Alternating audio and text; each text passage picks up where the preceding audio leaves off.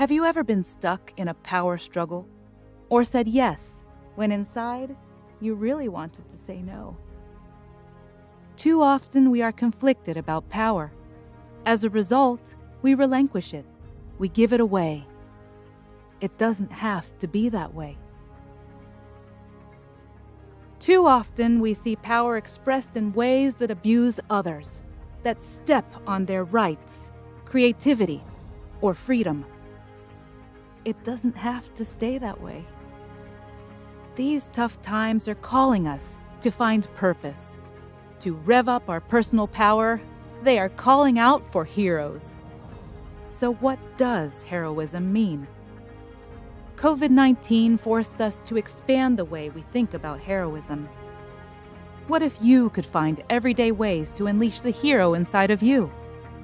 Awakening the soul of power will help you negotiate power struggles successfully, heal toxic relationship patterns, and stop playing small or cheating yourself. This book will change your life.